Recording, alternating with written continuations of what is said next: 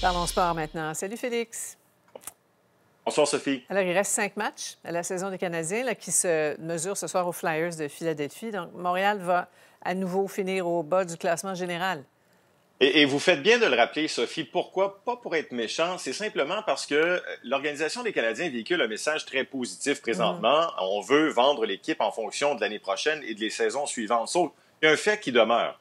Et ça, c'est un fait, on peut rien y changer. L'équipe est 28e sur 32 formations, Sophie. Euh, encore une fois, on va terminer parmi les pires équipes de la Ligue nationale. Encore une fois, cette année, on va se battre pour obtenir le meilleur choix au repêchage possible. Ça va faire trois ans de suite que l'organisation rate les séries, la cinquième fois au cours des sept dernières années. Alors oui, c'est encourageant de voir ce qui se passe, mais ça va prendre quand même un changement assez drastique la saison prochaine pour revenir parmi, disons, les bonnes formations de la LNH. Par ailleurs, la saison d'Arbridge Jacky est terminée? Oui, ben, il sera opéré à une épaule. Euh, on dit qu'il s'est blessé dans son dernier match jeudi contre le Lightning de Tampa Bay.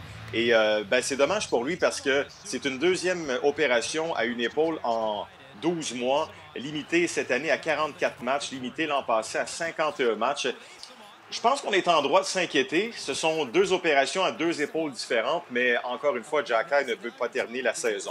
Du côté de Caden Gooley, Sophie, euh, on l'a vu ce matin à l'entraînement. Gooley s'était également blessé dans le match de jeudi face au Lightning de Tampa Bay. Il a raté les deux derniers matchs contre Toronto et les Rangers. Il sera absent ce soir.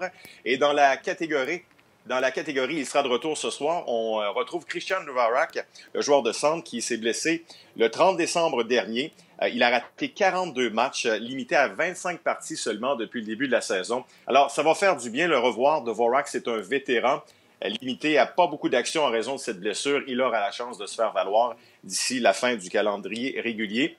Et Sophie, je termine en vous parlant du match de baseball qui, aura, qui sera présenté ce soir à TVA Sport. Les Marlins contre les Yankees. On vous attend à 19h. Merci beaucoup, Félix. Au revoir, Sophie. À demain.